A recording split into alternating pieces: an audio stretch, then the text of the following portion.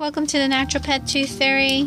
Darlene is just in the middle of cleaning Jack's teeth. He is a grand champion of Norwich Terriers.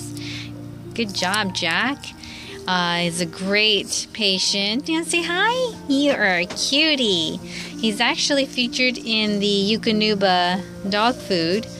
Uh, his picture is on that bag of dog food. You're a superstar, aren't you? And as you can see, teeth cleaning is very tolerable, just like us when we get our teeth cleaned at our dentist every six months. Um, and for him, he definitely needs a cleaning about every six months or so. Got to keep those teeth pearly white for the dog shows. All right, and for good health. Thank you for visiting the Natural Pet Tooth Fairy.